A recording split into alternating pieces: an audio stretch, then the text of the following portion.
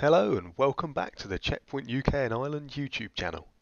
In this short video we will learn how to set up the Check Point Mobile Access Blade for use with the standalone Check Point Mobile client for Windows and the Capsule VPN plugin for Windows 8.1 and Windows 10. So I've now moved over to my demo environment and we're going to prepare it to get ready for a remote user to log into one of his servers that are sitting within their traditional office network. So nice simple setup, just got our manager and a gateway and we're going to start off by editing the gateway. So double click the gateway object and we're going to go with identity awareness first and set up Active Directory on it. So we've got an Active Directory already defined for this server, so just making sure that's all connected up. And this is to allow us to use users in the source column of the access control policy, but also for our users to be able to use it to authenticate when they're connecting in through the VPN client. So that was nice and successful. Simple as that. Two buttons and we're there. The next one, turn on the mobile access blade. And this is what's going to allow us to use those VPN clients. So we're going to look at the Capsule VPN plugin for Windows. And we're also going to be enabling Check Point Mobile for Windows, so the standalone remote access client that uses the IPsec VPN tunnel. So there are two options.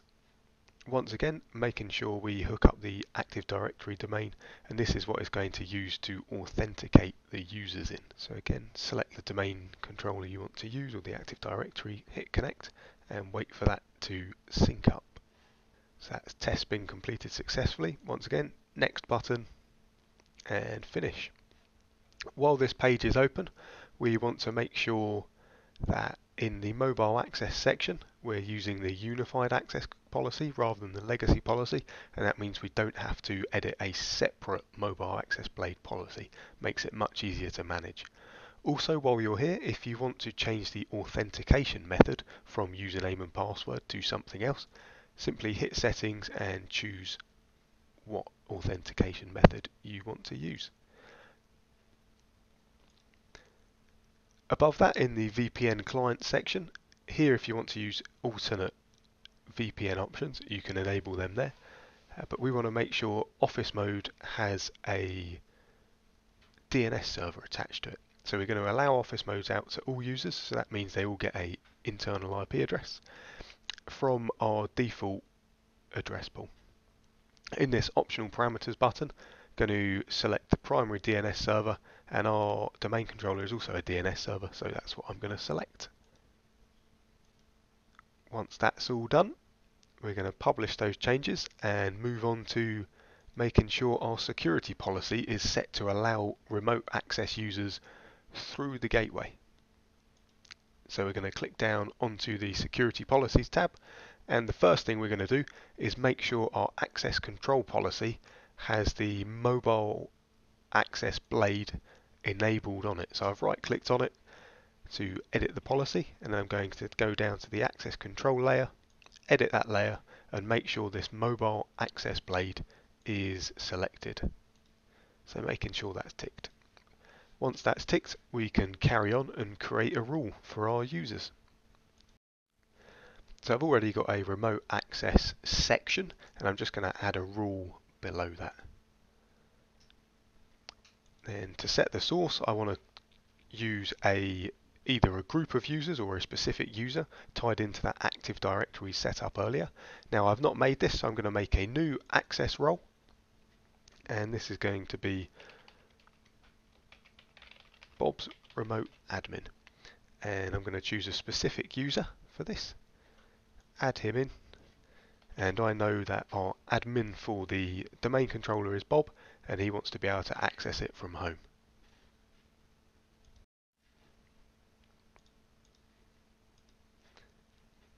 Then I know he wants to remote desktop on so we've got to enable DNS for him to be able to resolve the name.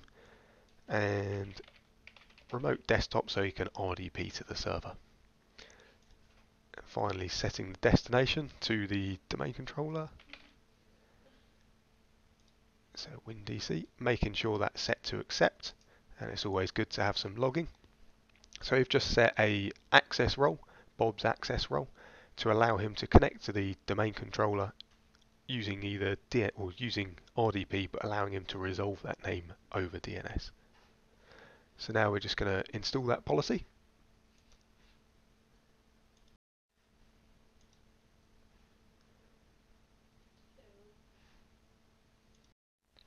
So that policy's been successfully installed and we're all ready to download the client to be able to test the VPN connection back in. So just to summarize what we've done so far, we've enabled identity awareness and hooked it up to an AD server, turned on the mobile access blade and set a security rule to allow that remote user to connect to whatever environments he needs to. Now all we need to do is connect Bob to the VPN. So we were going to use the Check Point mobile client for Windows. So if we come to our SK article on endpoint security clients, E8240 is the latest version, and we're just going to choose the VPN standalone client and download that.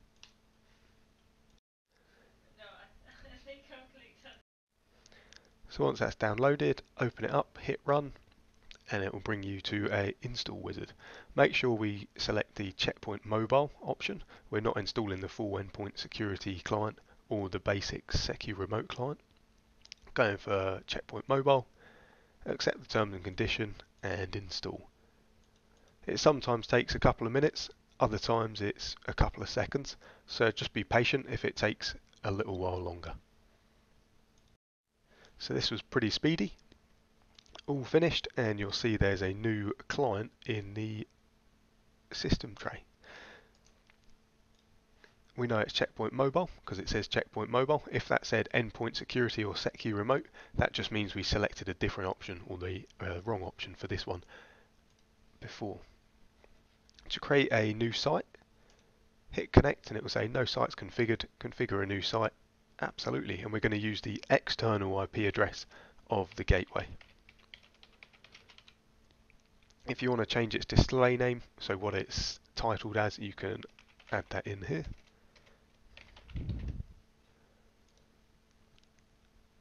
And hit next. We want to use it as our default VPN. We're going to use username and password because that's what our authentication settings in the SmartConsole were. And that's the site all set up ready to use. Do we want to connect? Absolutely. Test it out.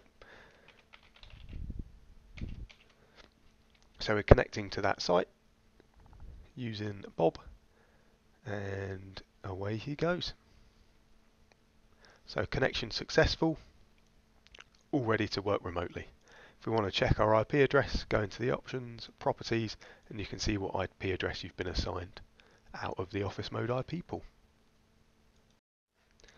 And from there, if we want to test our RDP connectivity to our domain controller. Hit connect. You can see now Bob's able to connect straight in and carry on the work he was doing.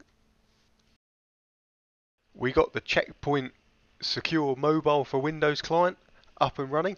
But what about the Capsule VPN plugin for Windows 10 and Windows 8.1? So if we just head to the Microsoft Store on any Windows PC, and search for Capsule VPN, it should come up Check Point Capsule VPN app. Now my Microsoft account has already got this app, so it's free, you just press the get button and I'm just going to launch it here and you can see already downloaded and installed on this client. So from here I'm just going to go into the VPN settings, open up the VPN settings, add a VPN connection and change the VPN provider from the built-in Windows to Check Point Capsule VPN. And then we can name this anything we like. And then put in again that external gateway of the, the gateway you're using for the VPN terminations. So in this case I'm